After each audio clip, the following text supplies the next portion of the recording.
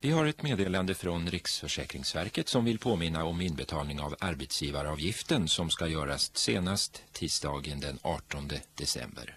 Utsända inbetalningskort ska användas även om inbetalningen görs från eget konto. Kommer inbetalningen för sent får man betala restavgift.